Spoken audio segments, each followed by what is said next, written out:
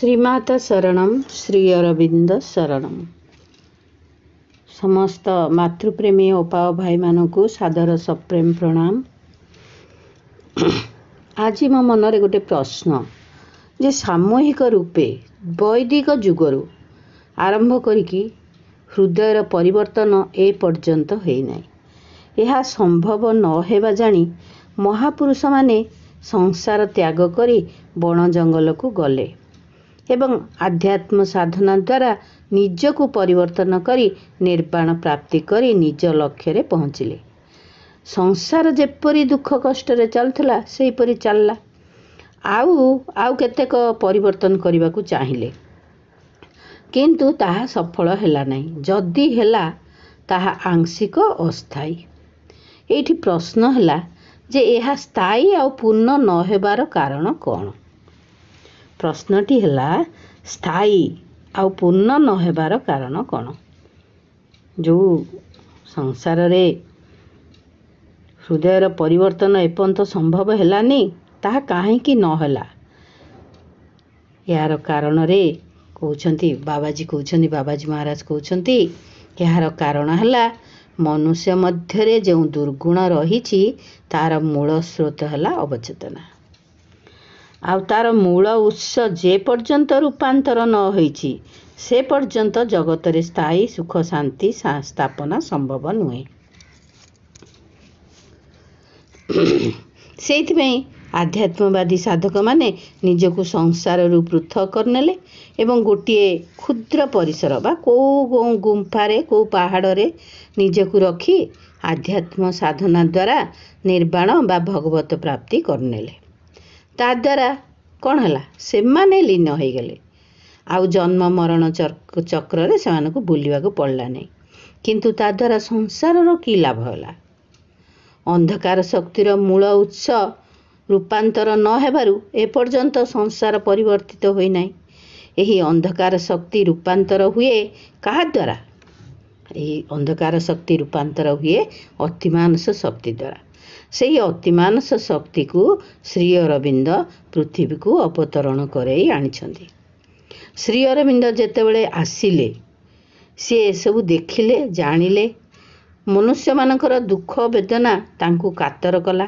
ସେ କହିଲେ ନା ଏହାର କିଛି ଗୋଟେ ସମାଧାନ ବାହାର କରିବାକୁ ହେବ।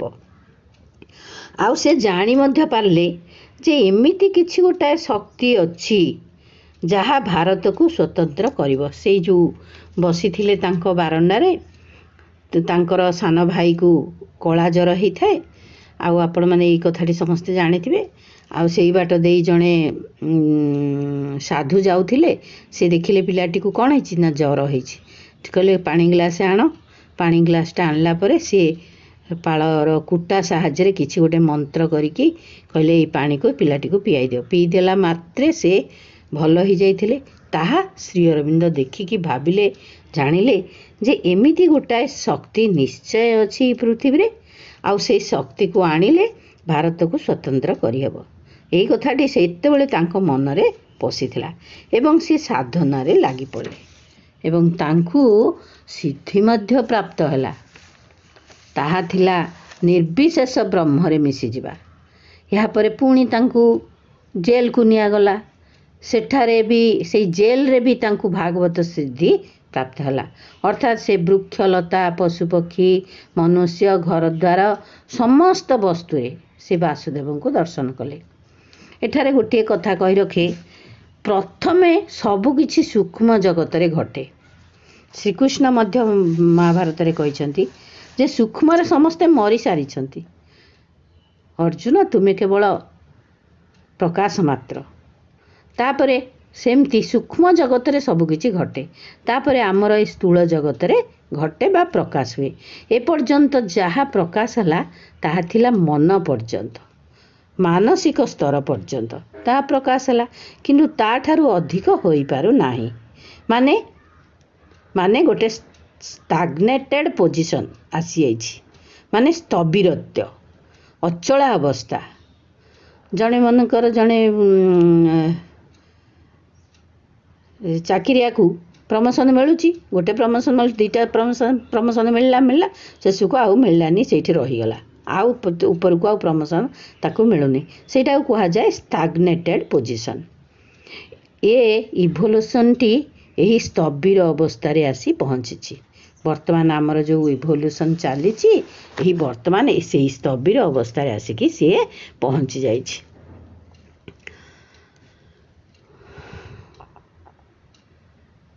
ମାନସିକ ସ୍ତର ପର୍ଯ୍ୟନ୍ତ ଆସିବା ପରେ ସେଥିପାଇଁ ସିଏ ମାନେ ଗୋଟିଏ ବାଟ ଖୋଜିଲେ ଯେ କିପରି ଅନୁଭୂତିଟା ହେବ ରିଏଲିଜେସନ୍ଟା ହେବ। ଅନୁଭୂତି କେମିତି ହେବ? ଏଇ ଅନୁଭୂତି ପାଇଁ ମହାପୁରୁଷମାନେ ବାଟ ଖୋଜିଲେ।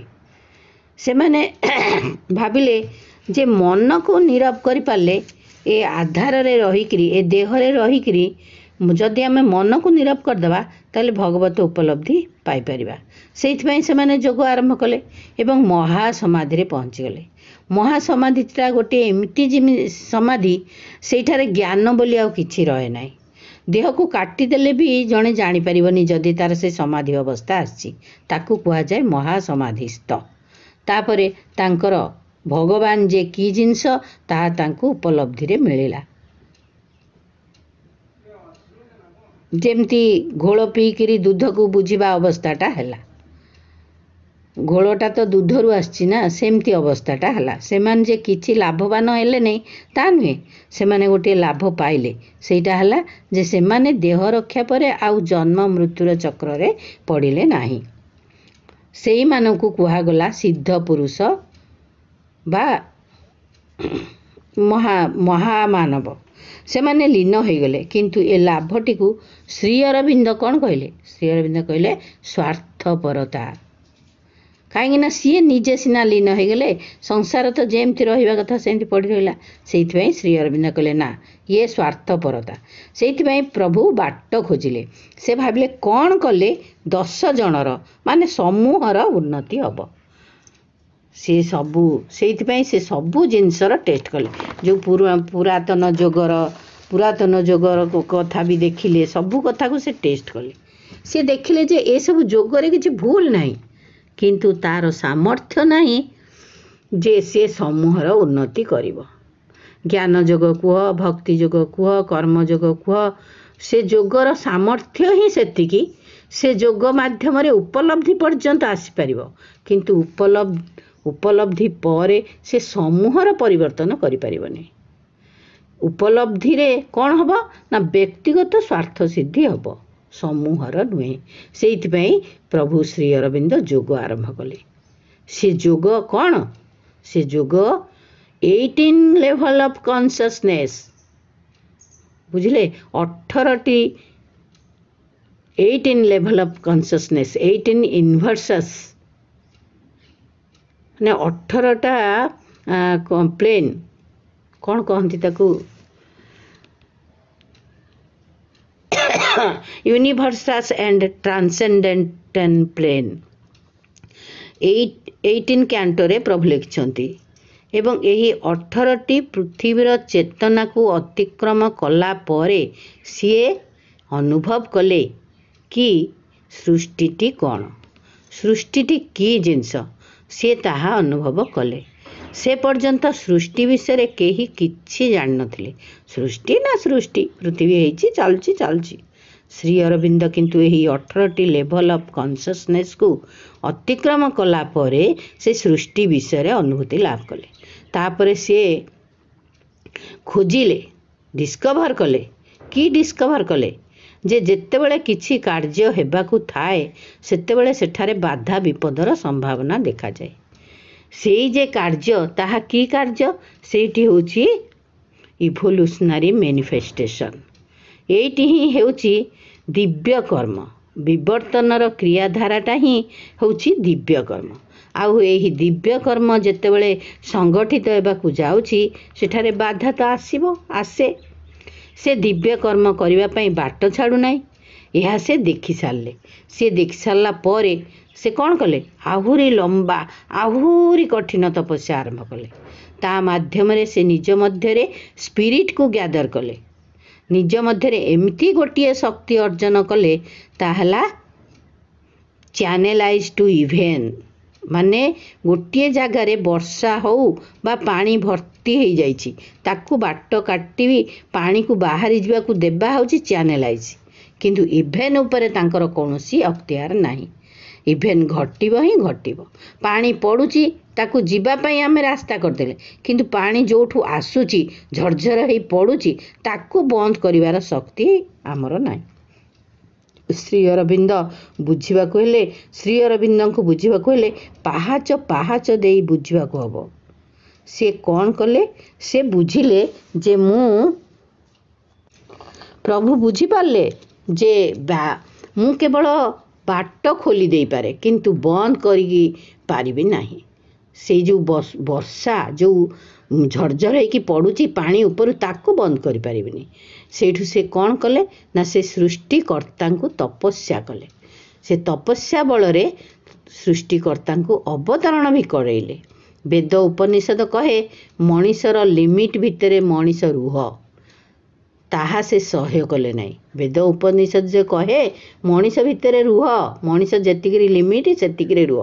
ଉପରକୁ ଯାଉନି କିନ୍ତୁ ଶ୍ରୀ ଅରବିନ୍ଦ ତାହା ସହ୍ୟ କଲେ ନାହିଁ। ସେ କ'ଣ କହିଲେ? ସେ ପୃଥିବୀ ପ୍ରସ୍ତୁତ ନୁହେଁ। ସେଥିପାଇଁ ଏବେ ନୁହେଁ। ଏବେ ଅବତରଣ କଲେ ପୃଥିବୀ ଧ୍ୱଂସ ହେଇଯିବ। କିନ୍ତୁ ପ୍ରଭୁ ଶ୍ରୀ ଅରବିନ୍ଦ କ୍ରନ୍ଦନ କଲେ। ସେ ସେ ଅପିଲ କଲେ ତୁମେ ଅବତରଣ କର ବୋଲି ମାଆଙ୍କୁ ଅପିଲ କଲେ। ମାଆଙ୍କୁ ବାଧ୍ୟ କଲେ। ମା ସେଇଠୁ କହିଲେ ମା କହିଲେ ତୁମର କ୍ରନ୍ଦନ ଧ୍ୱନି ମୁଁ ଶୁଣିଛି। ଜଣେ ଏ ପୃଥିବୀ ଉପରେ ଅବତୀର୍ଣ୍ଣ ହେବେ ଏବଂ ଏହି ଲୁହାର ଶିକୁଳିକୁ ଭାଙ୍ଗିବେ। ଏହି ମର୍ତ୍ତ୍ୟମଣ୍ଡଳରେ ସ୍ୱର୍ଗରେ ଏକ ତରୁଶାଖା ରୋପିତ ହେବ ଭାଗ୍ୟ ପରିବର୍ତ୍ତିତ ହେବ ଅପରିବର୍ତ୍ତିତ ଇଚ୍ଛାକୁ ପରିବର୍ତ୍ତିତ କରିବ ଏକ ନବ ସୂର୍ଯ୍ୟୋଦୟ ଏବଂ ମଣିଷ ଅମରତ୍ୱ ଲାଭ କରିବ। ଏବେ ଭୂମିକୁ ପ୍ରସ୍ତୁତ କରିବାକୁ ହେବ। ଶ୍ରୀ ଅରବିନ୍ଦ ସେଠୁ ଚେଷ୍ଟା କଲେ। ସେ ଦେଖିଲେ ମା ଯେ ଆସିବେ ସେଇଥିପାଇଁ ସେ ତିଆରି କରିବା ପାଇଁ ପ୍ରସ୍ତୁତ ହେଲେ ପଥ ପ୍ରସ୍ତୁତ କଲେ। ସେ ପୃଥିବୀର ଲୋକଙ୍କ ଠାରୁ ତ ସାହାଯ୍ୟ ସହଯୋଗ ପାଇଲେନି। ସେଥିପାଇଁ ସେ ନିଜକୁ ପ୍ରସ୍ତୁତ କଲେ। ସେ ନିଜେ ସୂକ୍ଷ୍ମ ଜଗତରେ ନିଜକୁ ପ୍ରତିଷ୍ଠିତ କଲେ। ସୂକ୍ଷ୍ମ ଜଗତରେ ଯେତେବେଳେ ସେ ଅମୃତର ପ୍ଲାବନ ଆସିଗଲା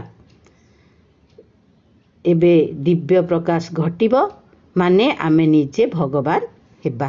ଏ ହେଲା ବେପାର ଏପର୍ଯ୍ୟନ୍ତ ଅନୁଭବରେ ଥିଲା ଏବେ ସୂକ୍ଷ୍ମରେ ତାହା ଘଟିତ ହେଇଯାଇଛି।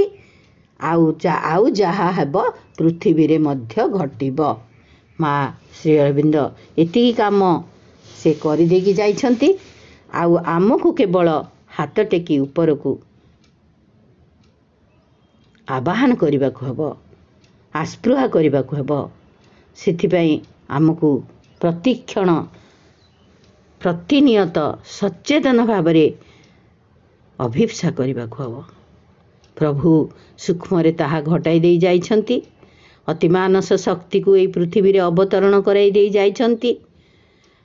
ଆମକୁ କେବଳ ଆମର ଘରର ଝରକାଟିକୁ ଖୋଲିବାକୁ ହେବ କବାଟଟିକୁ ଖୋଲିବାକୁ ହେବ ସେଇ ଶକ୍ତିର ପ୍ଲାବନକୁ ଆମ ଭିତରକୁ ଆସିବାକୁ ବାଟ ଛାଡ଼ିଦେବାକୁ ହେବ। ଏଇ ହେଲା ସେଇଥିପାଇଁ ସ୍ଥାୟୀ ଆଉ ଇଏ ହେଇନଥିଲା। ବର୍ତ୍ତମାନ ଆମେ ଯଦି ଚେଷ୍ଟା କରିବା ଆମେ ଯଦି ଚାହିଁବା ଆମର ସେଇ ଶକ୍ତି ଆମ ଭିତରେ କ୍ରିୟା କରିବ। ଏଥିରେ ତିଳେ ମାତ୍ର ସନ୍ଦେହ ନାହିଁ। ଆମର ପ୍ରଭୁ କେତେ ପରିଶ୍ରମ କରି କେତେ କଷ୍ଟ କରି କେତେ ସାଧନା କରି ସେ ଏହି କାର୍ଯ୍ୟଟିକୁ କରିଯାଇଛନ୍ତି ପୃଥିବୀ ଉପରେ। ଅତିମାନସ ଶକ୍ତିକୁ ଅବତୀର୍ଣ୍ଣ କରିଦେଇ ଯାଇଛନ୍ତି ଆମେ କେବଳ ରାସ୍ତା ଖୋଲି ଯାଇଛି। ରାସ୍ତା ଆମକୁ ଖୋଜିବାକୁ ପଡ଼ିବନି। ରାସ୍ତା ତିଆରି ହେଇଯାଇଛି। ଆମେ କେବଳ ସେଇ ରାସ୍ତାରେ ଚାଲିଲେ ହେଲା। ଆଜି ପାଇଁ ଏତିକି। ଏଇଠି ରଖୁଛି ସମସ୍ତଙ୍କୁ ଅଶେଷ ଅଶେଷ ଧନ୍ୟବାଦ। ନମସ୍କାର। ଶ୍ରୀମାତା ଶରଣମ୍। ଶ୍ରୀ ଅରବିନ୍ଦ ଶରଣମ୍।